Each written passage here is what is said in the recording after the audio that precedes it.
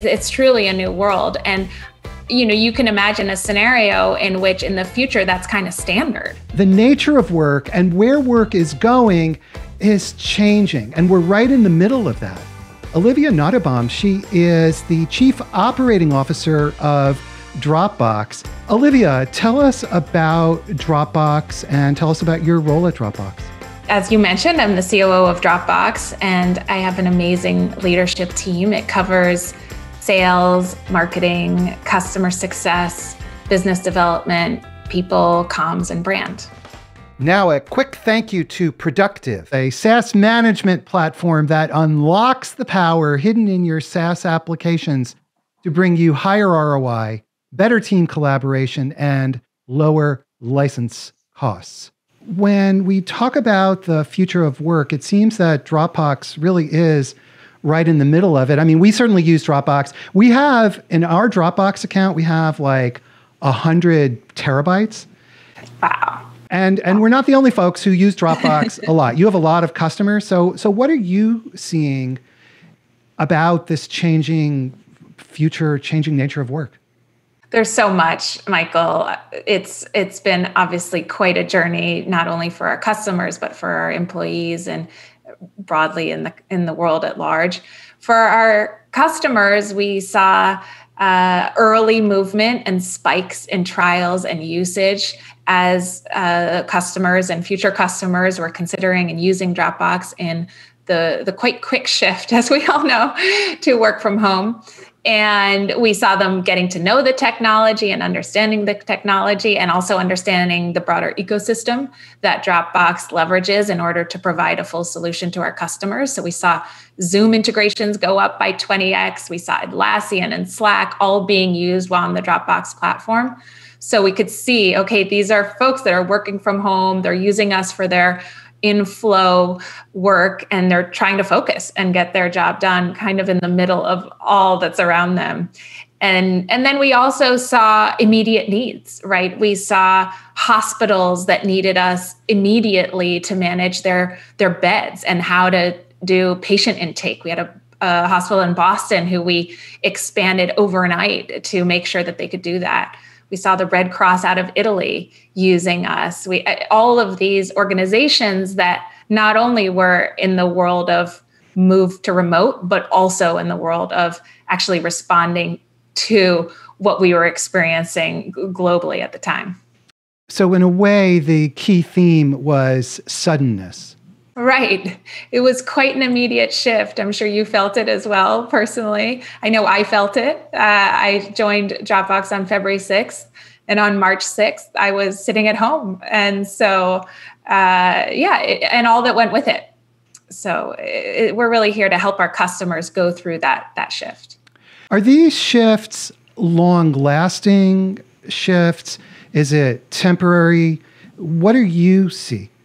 One of the things we're trying to do is be very thoughtful about what is this quote unquote new reality. And Drew, our CEO, has thought a lot about it and continues to really lead our thinking on what is it about this world that we want to keep for the long term to your question and what is it the parts that we kind of want to when given the opportunity want to go back to normal i would say there's actually a lot of elements of this that we now have the opportunity to design the future of work, right? Obviously, we shifted and we adjusted, but there's also this opportunity to say, okay, what is the ideal end state? And of course, as a technology company, we think deeply about how do we enable that end state. And we see that as an opportunity. We also see that as an immense responsibility because if we can figure this out, then we can help customers and users all over the world operate in this new reality. And we take that responsibility very seriously. So, when you say we think about the end state, can you elaborate on that? Because it's, um, you know, the future of work and how people are work is so is, is are dictated to such a large extent by factors under no one's control. So, how do you, how do you manage that and think about that? We think about the different dimensions of it. So, we think about what are the important elements of people physically being together? What is the kind of work for which one physically needs to be with a colleague or a peer or in a, in a team environment? And then we think about and this is again end state right we in the us anyway in many places we don't yet have the luxury of, of living that but we really are trying to think end state right and so and then we think about well actually what are the the elements that are potentially better done in a remote and distributed way? And what are the benefits that a company and a team has when they're able to work in a remote distributed way? And there are a lot of benefits. There are a lot of benefits. You know one of the ones that i care passionately about is is diversity. I think that and and the leadership at Dropbox believes that the more distributed remote work that we have, the more opportunity we have to hire and engage candidates that otherwise might not want to move into the hub of the Bay Area or the hub of New York or some of these places that come with high living expenses, complexity in terms of work life balance, long commute times, all of these things, right? So for us, we see that element of it really as an opportunity to hire a much more diverse employee group uh, as we kind of figure out this long term mixture of being able to work from home as well as being part of an office. This notion of being able to hire diverse teams is very heavily enabled by the remote distributed workforce or the capability, the ability to work. The ability, right. Yeah, we have customers, um, and I'm sure we all know teams who just had never gone through the paces of working remote.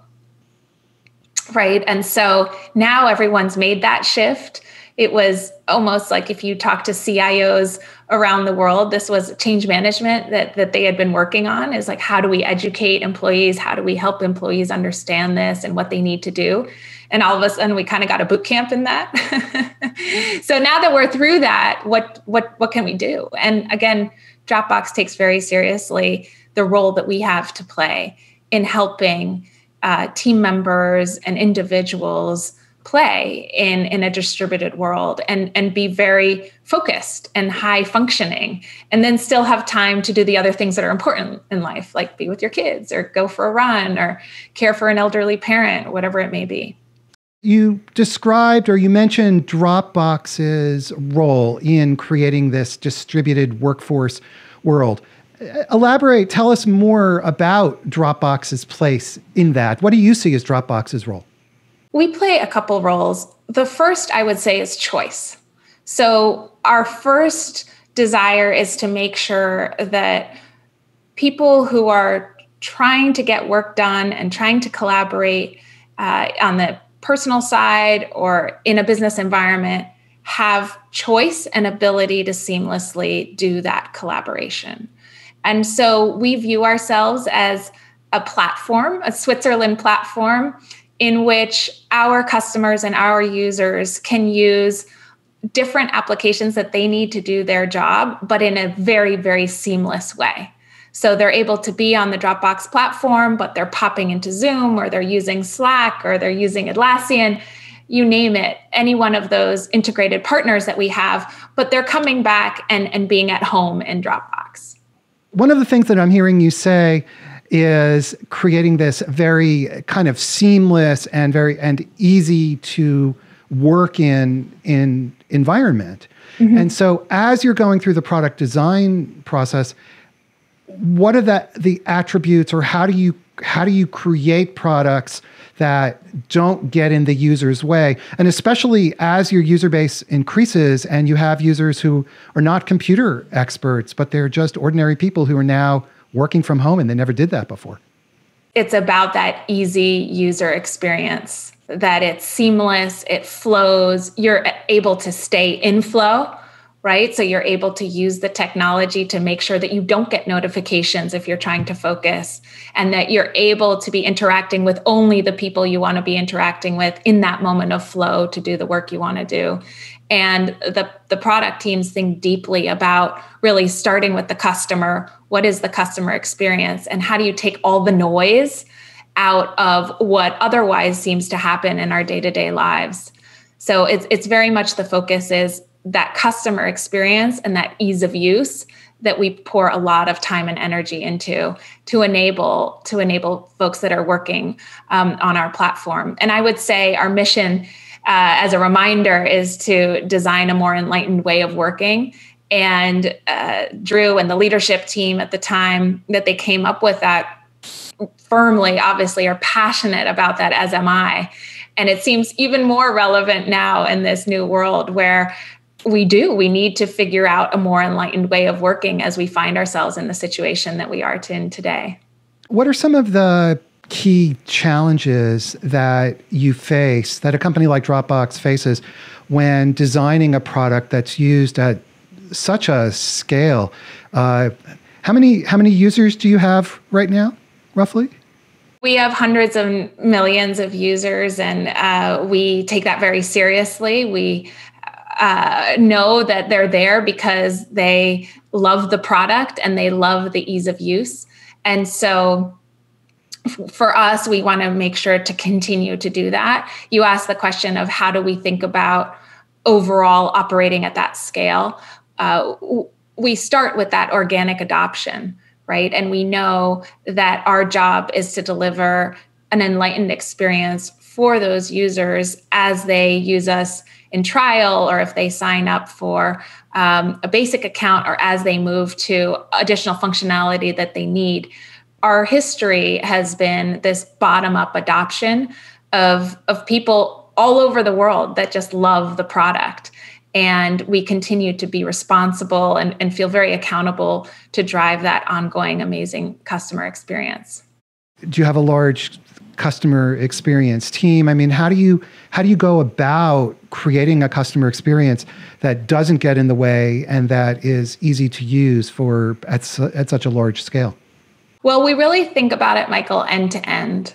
So, uh, as many folks are familiar with, there's this process called new product introduction or NPI in the, in the tech industry. And we think about how we bring and how we um, take the input of all of our customers and the usage that we're seeing uh, on the product itself and use cases and jobs to be done. And the, the, the design team and the research team and the product team take that very seriously and really just do an amazing job of taking all those inputs and then also thinking in a visionary way about hey what are some things that maybe our current users today haven't quite thought of but in the future we think this would be incredibly valuable to bring to our customers. And and it's just a delight to see those teams in action. Uh, and i would also say we take very seriously uh, what we call uh, post sale and the loyalty loop right? So okay now a customer is using us and they're giving us feedback and we provide these community forums for customers to provide us feedback at scale but we're also talking to customers as as you know before before this i was just on the phone with a customer getting feedback right and and and those customers we take that uh, with with great importance because those customers have taken time out of their day to tell us what's working and where they would love our help doing another job or expanding the functionality in some way. So we take that customer feedback loop also very very seriously as we think about how to design products for our customers and future customers. With hundreds of millions of users, if your product has an issue, my guess is you're going to hear about it and pretty yes. pretty darn quickly too. Yeah. I mean, again, my hat's off to not only the product team and the engineering team, but also our infrastructure team and our platform team, because as you, as you all know, there's a there's a huge infrastructure uh, engine that is so amazingly highly tuned to be delivering what it is that we're delivering from a product perspective. So, you know, it, it's really an, an enormous task and ones that the team take very seriously and I and I think do a great job of it. But it really is that ongoing input from the customer and we always have our ear to, to the ground in terms of what the customer needs and, and, and uses and how we provide that at scale in a way that um, it provides value over time and also continues to provide value over time. We very much take seriously that uh, our customers are here with us, but we have a commitment to them to, to continue to increasingly deliver value over time. And we're hard at work doing that. We have a question from Twitter, and Stephanie Waxman asks She says, Olivia, do you have any advice for leaders on how to maintain or create a good remote culture? Any specific examples of how you've done this at Dropbox during this time? Human element is really important. And how do you build teams that feel uh, a human bond to each other? Right. Because I think at the end of the day, people come to work most often for the people they, they surround themselves with and and how do they engage with those people and how do they work as a leadership team and so uh, what what we've been trying to do and really hats off to uh, a number of teams at dropbox that are so thoughtful about this the the um, the people team and the comms team put a tremendous amount of thought into realizing that okay we need to be engaging much more frequently with our employees. Uh, we need to be communicating on a frequent basis. We've really upped uh, our all hands and the expansiveness of our all hands. I know that we, as, as exec staff members, have um, been sending all out weekly emails to the entire set of teams that, that we um, uh, work with. And so for us, we think about continuing to build that human connection and feeling um, a real sense of need to communicate. So, what in the previous world might have been felt a bit as over communication, I think you, you can't over communicate in a remote world. So, I think that would be my my primary thought. Uh, and and it's important to to communicate on all fronts, both how we're going to set boundaries between um, work and, and, and everyday life, how we're going to focus the company and set goals for the company and deliver on the things that we said we'd deliver as a company, what things we're going to do as a team to build the team and to uh, drive people's um, development over time. So there's a myriad of things to be communicating about.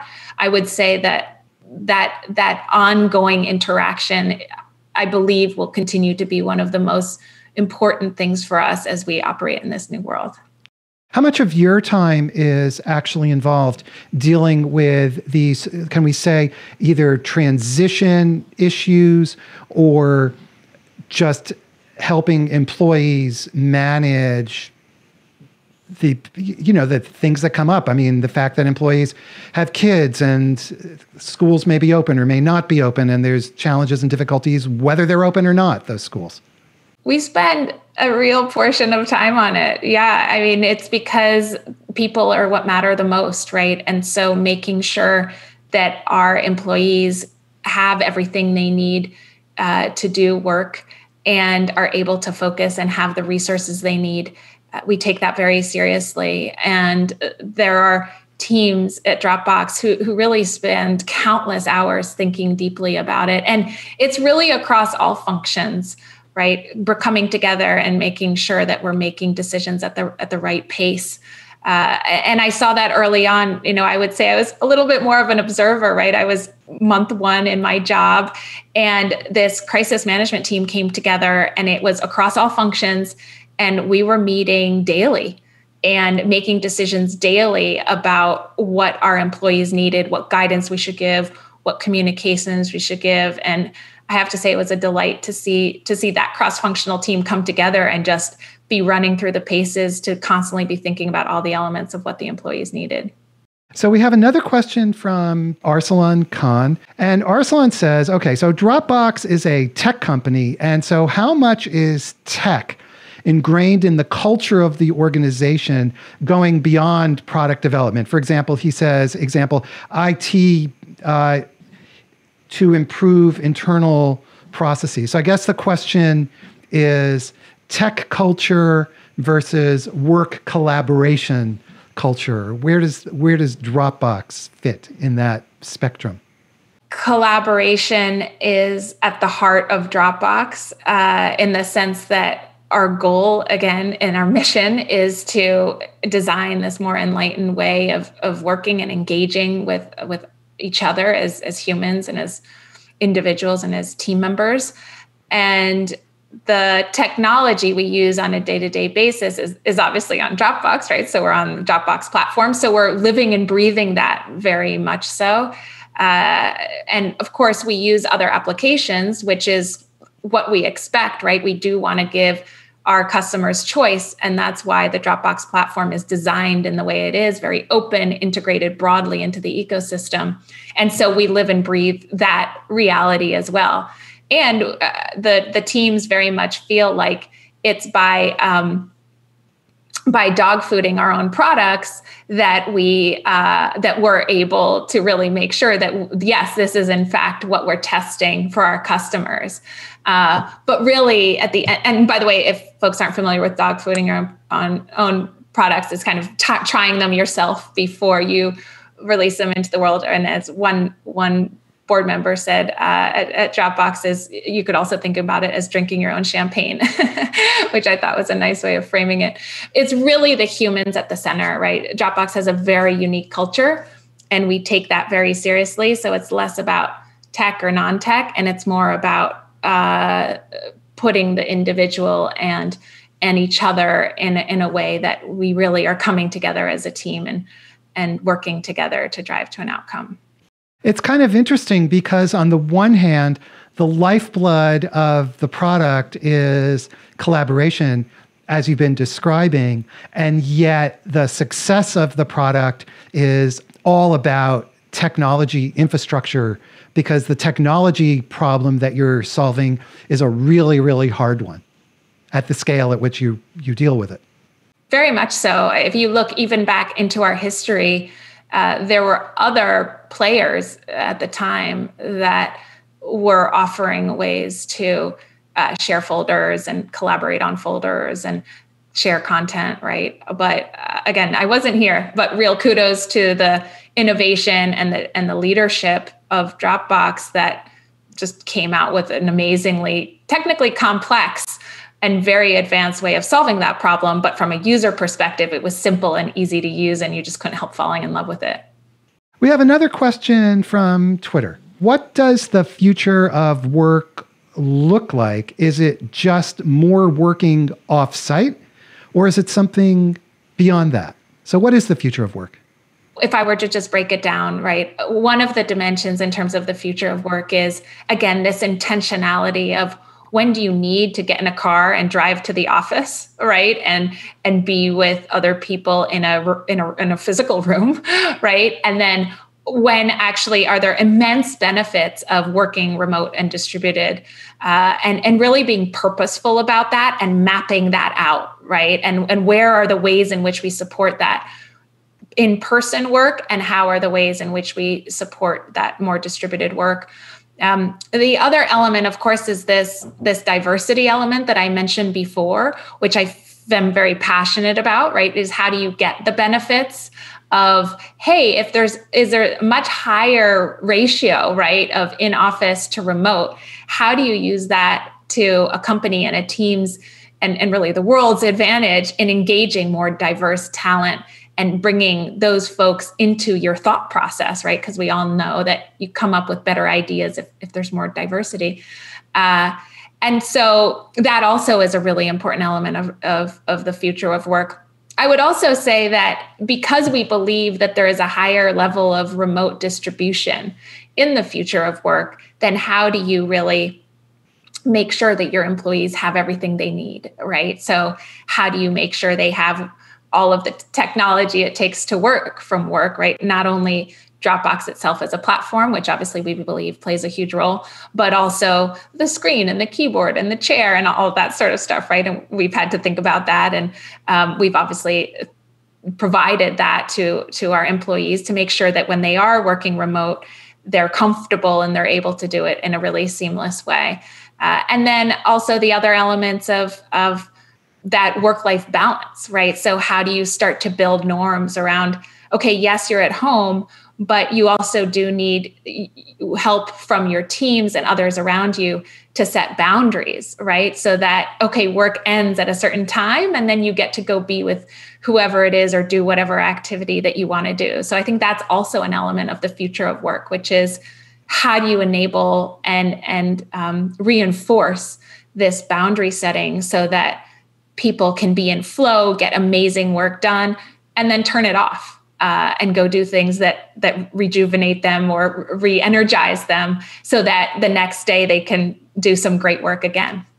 So, in your mind, then the planning process for the future involves this mapping, to use your term, of uh, on, I was, I was going to say on premise, but working uh, in an office, the pros, the cons, the implications on the one hand, and then the working from home, the pros, the cons, the implications, and then figuring out intentionally, again, to use your term, uh, how do you bring those two together and in what manner and proportion? Exactly. Yes. And obviously we we listen to our employees, right? So we are asking our employees, well, how often would you think about needing uh, an office experience. And you know we really want to make sure that this is something that we're thinking about intentionally. And, and obviously you see many companies in the valley do, doing the same but we're really really trying to to be thoughtful about the intended end state. So you think about that intended end state uh, both in terms of the the product as well as your own internal operations. And obviously both of those both of those trains of thought respond to some kind of vision that you have of figuring all this out i'm assuming. Very much so yes. It's a team effort i would say.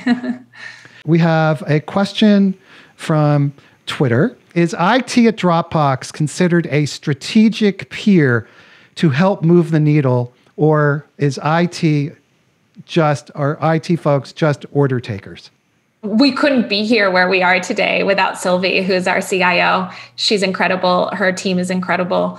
Uh, I mean, it, it was uh, almost awe. I mean, it was awe-inspiring and almost unbelievable, right? So one day we were in the office, we had a meeting, we decided, okay, we'd be working from home, and I I didn't notice any different. I mean, that just is a huge testimony to an IT team it was really, really incredible how, you know, our entire employee base was able to be remote within 24 hours. And um, that's a huge testimony. And I would say it's a strategic asset to have an IT team that's able to do that and pull that off is really really impressive. And and they continue to be very purposeful in the rollouts that i see in the simplicity that they're driving for for dropbox and on behalf of dropbox. And um, it's great to see the thought leadership there. And and we wouldn't be able to do this without them for sure. What kinds of interactions do you have with your customers in terms of them sharing their their work from homes or or the, let's say their transition plans and where do you see the market the market being your customers going right now since uh, you know, I've heard many, many stories, amazing stories like yours of these rapid transitions to work from home. But now people are trying to figure out what to do next. And it's really hard for all the reasons that we know. Right. As you mentioned, we operate at scale, right? A tremendous scale. And that's fun. And, it, and we have a huge responsibility. It also means that we have very different types of businesses and, and companies and individuals. And um, we have uh, individual consumers, we have um, professionals, we have uh, small teams, mid market teams, enterprise teams. Like it is really an amazing thing that because of the love of the product and the organic adoption, it shows up kind of in all customer segments, right? So uh, all to say that it's not a simple answer to your question in terms of how they're thinking about the future, right? It, I think it comes in many different flavors for many different types of companies and customer segments.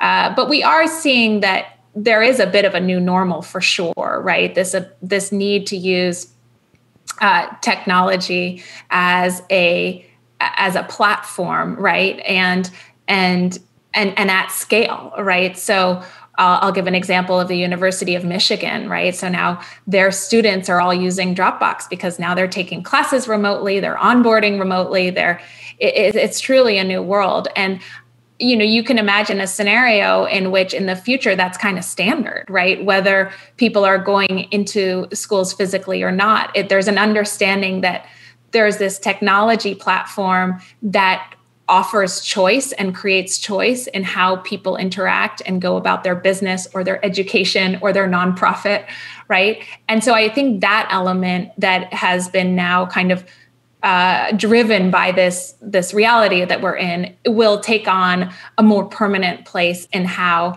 uh, companies, nonprofits, and educational institutions operate for sure. You know, I'd like to go back to a comment that you made earlier about how remote working uh, favors the development of diverse teams. And certainly, team diversity is such an enormous contributor to the success of the best teams. And so, would you talk more about that and elaborate the, the or explain the mechanism that remote distributed working uses or, or the, the mechanism by which remote working helps create diverse teams?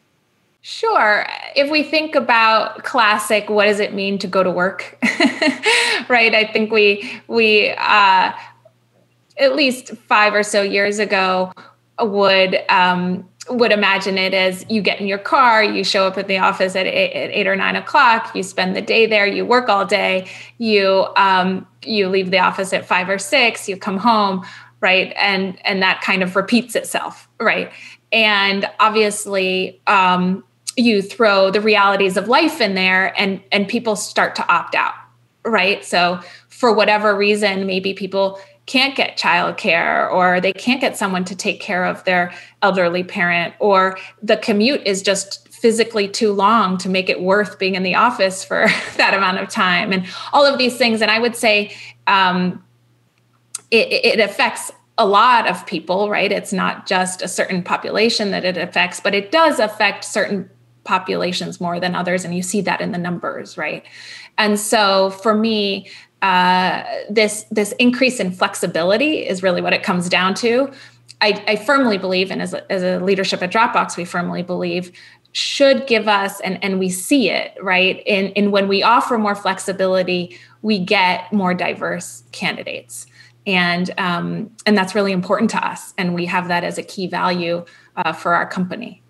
And we have a, another comment from Twitter from Constance Woodson who says these are great talking points, yet many workplaces intentionally hire mini me's, meaning a non diverse workforce. And that seems to be a continuing problem. So, does does the mere fact of working remotely cut through that, do you think? Or is there something else that needs to be done to create diversity when working from home? accountability is key. And I, I firmly believe that, that as you, um, in life, right? Even if it's like set, setting self goals for yourself or um, setting team goals, if you're like on a soccer team, like my daughter is, right? Or at work, you set goals right? Because that holds you and and the folks working towards it accountable to try to achieve those goals. And not only do you set the goals but you check in on those goals and you say how are we doing against these goals? And if it's not working and you're not pacing quickly enough to the end state that you're trying to get to or that that goal that you've set then you take the time to say okay why aren't where we will be? What can we do about it all of those things right? And i think the same holds through for for the topic of diversity because it's a fundamental uh, important topic in our lives today. And so yeah I, i'm I, i'm all about you actually have to set goals and, and the leadership at dropbox is all about you know we set we set very clear um, we really are thoughtful about where we want to be and it's not haphazard or if it happens that's okay. Like we're very intentional and thoughtful about that so that we can really continue to move the ball forward. And presumably you then establish metrics along with that I, I would assume.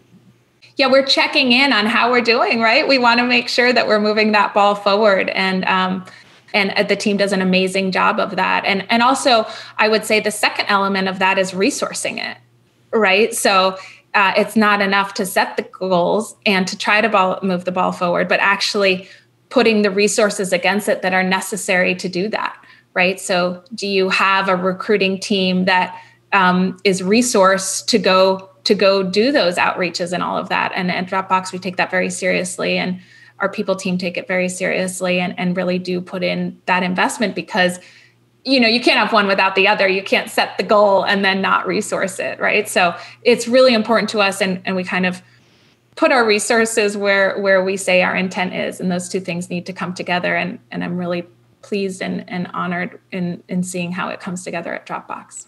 There's always more work to do right? I would not say that uh, check we've figured it out that uh, right? I think there's always more work to do. And so we take that very seriously as well. We we keep keep pushing. Another question from twitter. How do new ways of working impact affect work processes operations and practices? It's an interesting question. You're the chief operating officer of dropbox. So how does remote work affect operations the basic operations of running a business there's a couple elements of this. One is your processes need to be very explicit and very well documented. And and they need to be as simple as possible, right? Because um, it needs to be easy to communicate to someone who's joining in a remote world for the first time to your company, right? And so we've really thought about what are what is the onboarding process? There's been great work on that. But then what are the processes that we think are key processes that stretch across the company and make it so fundamental to how we do work that really everyone needs to be trained up on it and have very um, clear understanding of what the roles and responsibilities are? Uh, so 100% those processes are really important and and we've been doing um, work on that at dropbox to really make explicit even more explicit some of those those processes. I would say the other element is figuring out the way to do human connection that is not and i know we all know this right but is not stopping in the hall grabbing lunch together peering over someone's shoulder at their desk and saying oh that's how you do that model or you know whatever it is that level of apprenticeship that uh, in person played a large role in right? So how do you make sure people are connecting on a personal basis that the apprenticeship is occurring that the development is occurring. So we've been also thinking a lot about that right? So how do you create forums for people just to be relaxed and hang out right? At, at my staff meetings we um, think about you know what how are we doing professionally but how also how are we doing personally?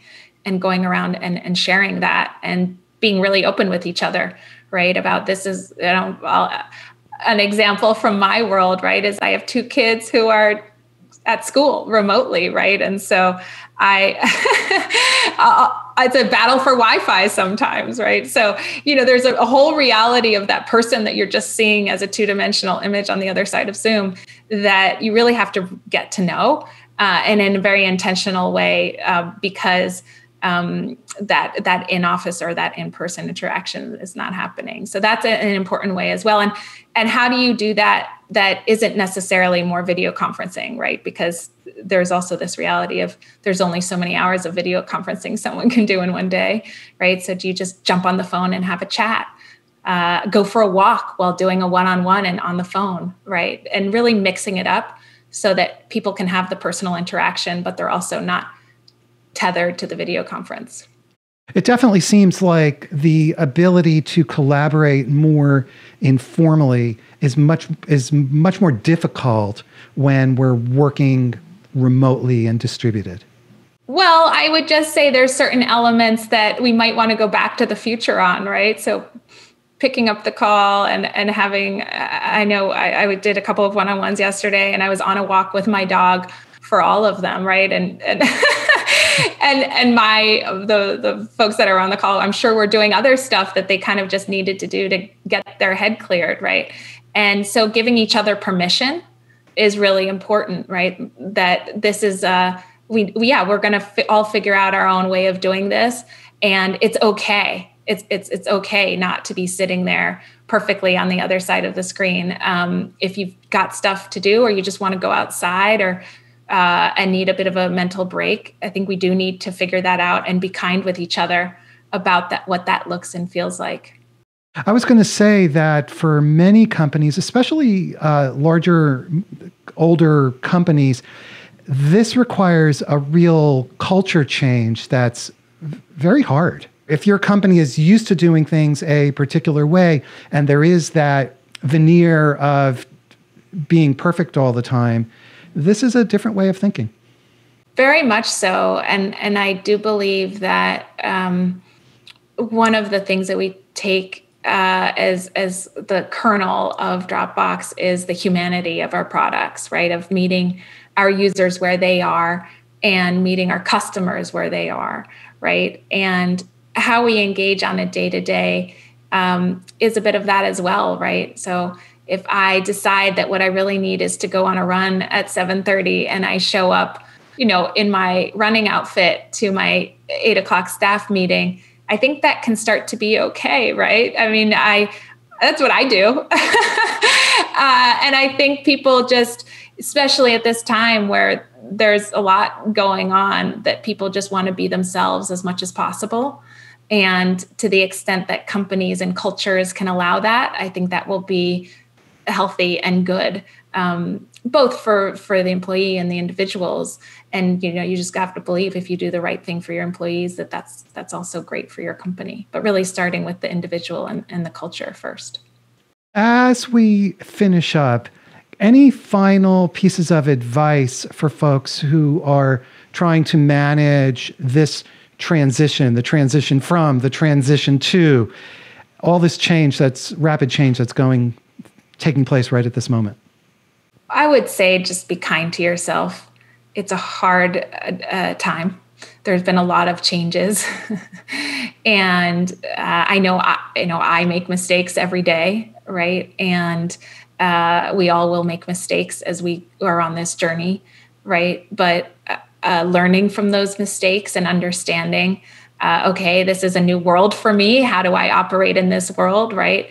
as a mother, I have a lot of adjusting to do. Of, as I mentioned, in homeschool as a, as a wife, right? My my husband's also working from home, and and obviously as someone who's trying to really do what's right for Dropbox, I have those elements as well. And of course, you're not going to always get them all right, right? And and that's just me. People have other elements that that they're focused on, whether it be other family members or uh, things that they do, right, that are important to them. And I think kindness um, kindness to yourself is is um, probably one of the most important because it's you know, it's different times, and we'll get to that end state, that very intentional end state.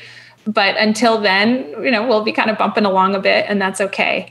And it's not meant to be perfect. The message of being kind to everybody, that sure sounds like a great one. We've been speaking with Olivia Nottebohm. She is the Chief operating officer of Dropbox. Olivia, thank you so much for taking time to be with us today. Thank you, Michael. Everybody, next week we are talking with the Chief Information Officer of Logitech. So check it out. Be sure to subscribe to our website and subscribe to our YouTube channel as well. Thanks so much, everybody. Thanks to Olivia. I really appreciate all the folks who ask questions. I hope you have a great day, and we'll see you again next time. Bye bye.